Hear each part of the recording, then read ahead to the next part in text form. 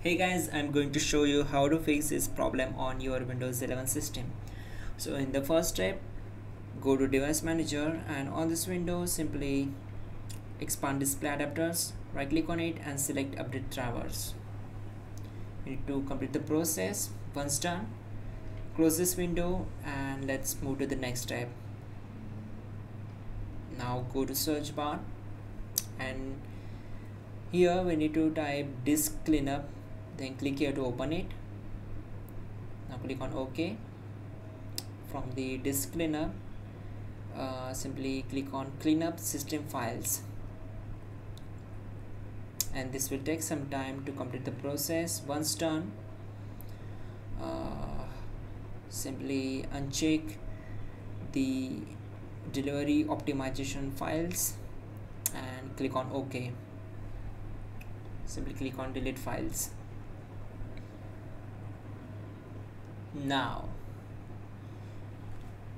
go to search bar type here cmd right click on it and select run as administrator click on s. Now type these commands carefully type in chkdsk space c colon space slash f slash r and hit enter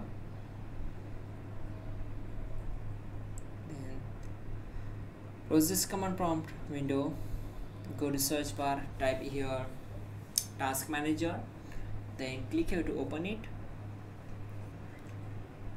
Select run new task then click on browse button. On the left side click on this PC and open C drive. Scroll down and open Windows folder.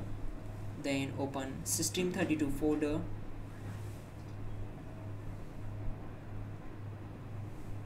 now we need to search for cmd.exe file.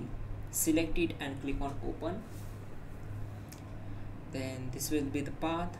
After that check this box and click on ok. Once you are here type these two commands very carefully.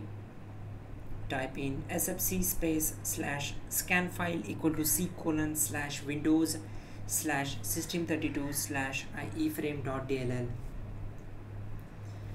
then type sfc space slash verify file equal to c colon slash windows slash system32 slash ieframe.dll and type exit to close the command prompt window.